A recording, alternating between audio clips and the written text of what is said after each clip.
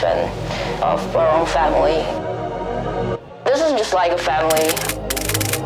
Sihk and then me, like we all from Asia, and then we have the opportunity to work with like the artists in Europe and then the artists in the US. Our family literally bring everybody together.